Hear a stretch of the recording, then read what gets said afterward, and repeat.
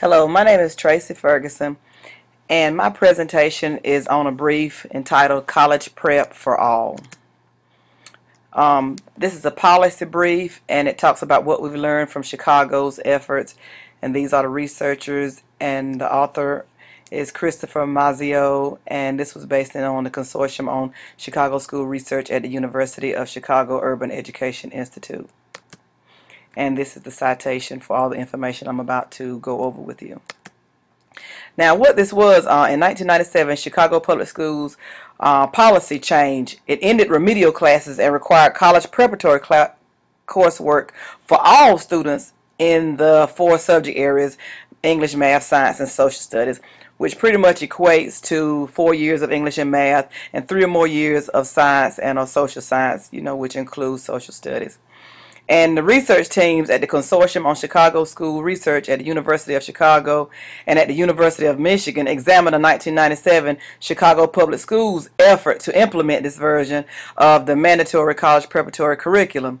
And the comparisons were made of the outcomes that they had before they implemented it and after they implemented the new policy. And they focused on Algebra 1 and English 1. Now, when you talk about opposing uh, views or debates or schools of ideas uh, in regard to mandatory curriculum, the opposing method was a debate uh, that they used for differentiated curriculum. And this, they said that this caused variations in students' academic experiences across schools and within schools. And they also said the depth and the rigor of that differentiated curriculum um, is affected and there's a concern whether it effectively prepares all students for college and careers. And that's why they wanted to go toward a more uh, mandatory curriculum. Now, the objectives of this curriculum is uh, to discover, the research was to discover methods to improve the rigor of the high school curriculum, and they also want to enhance student readiness for college and career readiness. Uh, they want to increase opportunities for all students to be able to take college preparatory classes because the existing research revealed that students who took high school level course sequences learned more in high school and were more likely to attend and perform better in college than students who did not take these classes. Now, some of the key findings from this research was the number one, one was that it increased freshmen taking college preparatory classes. The new policy led to more ninth grade students taking college preparatory classes, especially among lower skilled students. Over 90% of those students with the lowest entering achievement were enrolled in college preparatory English and algebra classes. Now, special education student enrollment was affected more than regular education students. And they had a little theory that possibly schools simply may have renamed their remedial courses while students were getting the same experience. Uh, we're not sure about that. Um, there was a reduction in tracking. Uh, ninth grade math teachers reported spending more instructional time on algebra. Uh, the English teachers reported using fewer textbooks, more fiction, poetry, nonfiction, plays, script, and scripts in their classes. And there were changes in the instructional experiences of lower skilled students. Students were considerably more likely to earn English 1 and Algebra 1 credits by the end of the ninth grade. Test scores in math and English were unaffected by the increase in college preparatory coursework in the ninth grade. Furthermore, grades declined in both subjects for lower skilled students, and these students were significantly more likely to fail their ninth grade English or math course, which of course is not good. And absenteeism also significantly increased among average and high school students in both subjects.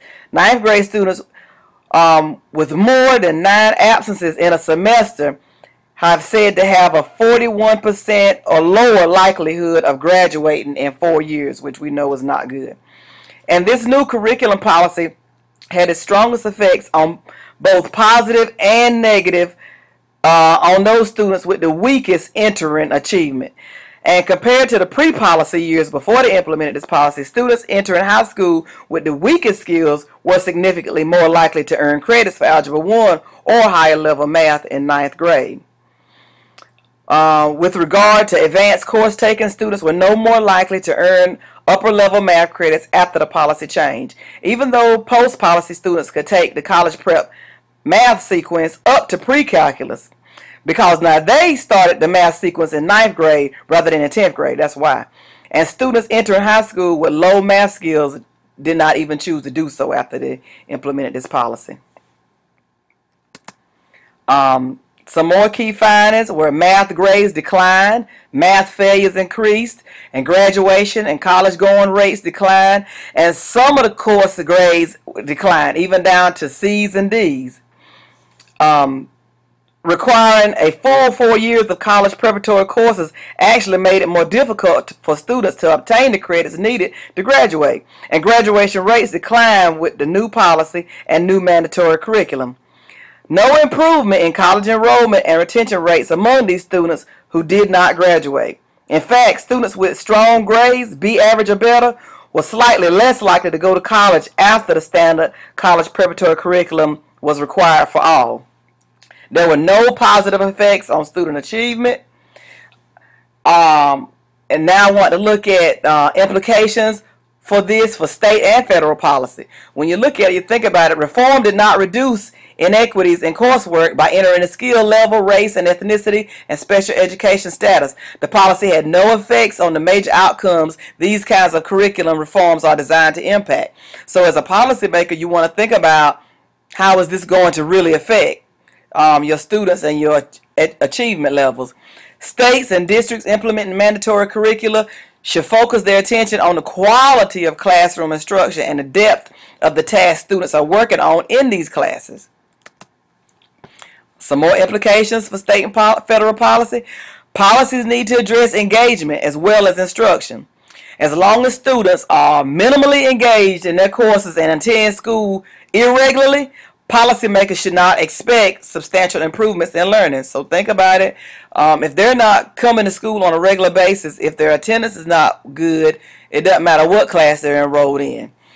Policymakers need to remember content and the structure of courses is the only first step, but real improvements in learning will require states and districts to develop strategies that get students excited about learning, studying, attending class regularly, and you know doing coursework even if it is hard.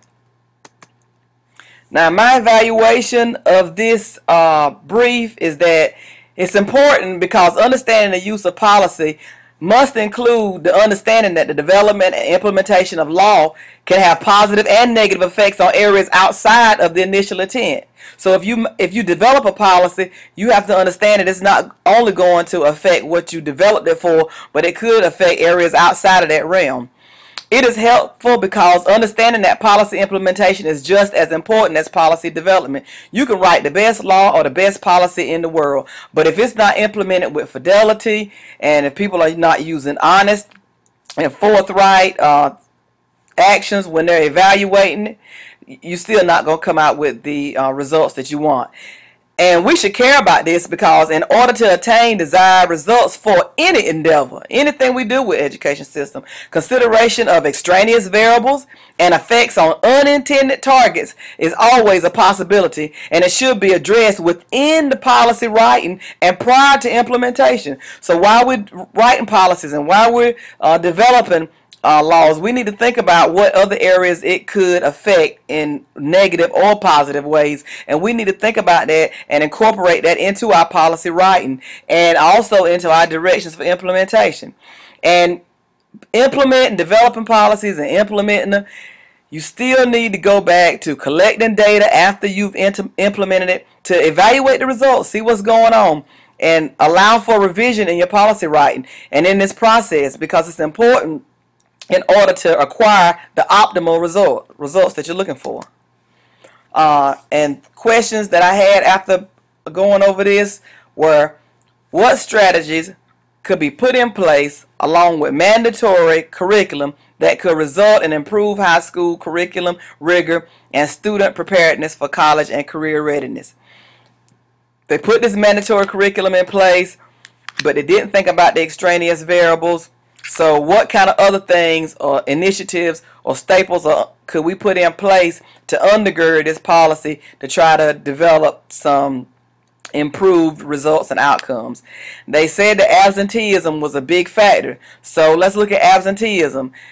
Absenteeism was identified as one factor affecting the results. So, what specific factors should be considered when developing policies regarding attendance? And lastly, as educational leaders ourselves, how would you use this information in your own current positions? And I'd like to thank you for um, reviewing this brief with me. Thank you.